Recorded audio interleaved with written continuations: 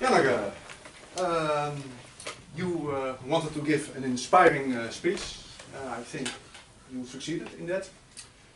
Uh, you wanted also um, a good structure. Well, I think uh, it was a little golden chain, so you were uh, successful there also.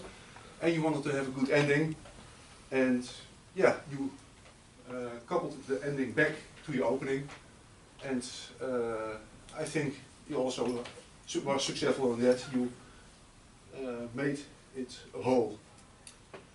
Uh, what I always like from your uh, speeches is this, they're always personal. You Yeah. always share uh, something of your life and something that we can uh, use and practice in our own life. And I, I really appreciate that you always do that. You have to be a little bit vulnerable for that, but you don't mind that. So I, I really like that.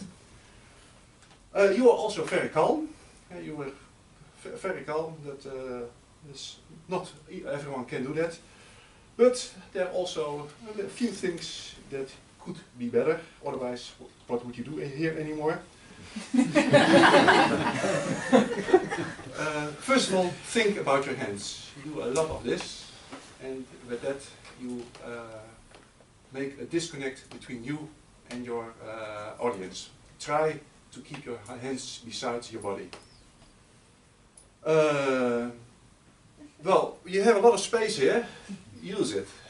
So if you if you would, uh, it was a nice speech, but if you would use the, the space, it would be even better. And in my opinion, the the end could be more powerful. Uh, you uh, when you fi- you finished, you just dropped your ending, and maybe if you build up and uh, revert in the beginning of your speech, that would have mean um, uh, made the ending much more powerful and much more rememberable. I think. But a very good speech. Uh, you did what you wanted to do. Uh, I cannot wait until your next speech.